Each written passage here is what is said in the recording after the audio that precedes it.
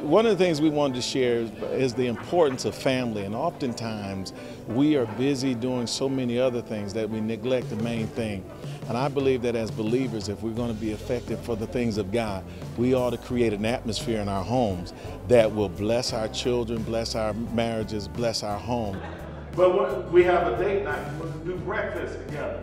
We go work out together. We do lunch together. We may go to a movie together. And then we spend the evening together doing nothing. And nothing not necessarily meaning that it's got to be expensive. And as we are blessed in our homes, there's a residual effect that happens within our community. A single parent household where there's just a mother in there is that men's ministries in the church uh, can be an effective uh, conduit through which boys start learning how to become men. Um, I think that, and let me say this also, we live in a society now where somebody has convinced a woman that they don't need a man to help a boy become a man.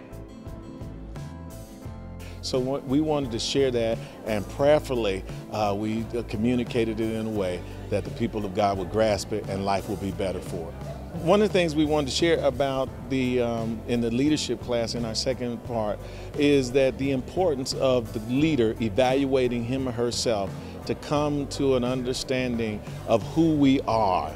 Uh, if we don't know us, we cannot be effective in helping others.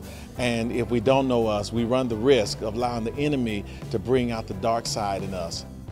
As a codependent leader, chances are the ministry suffers because you didn't empower the people to be sufficient in your absence. I, James, a servant, he didn't say, I'm the first pastor of the Jerusalem church, I'm the half brother of Jesus.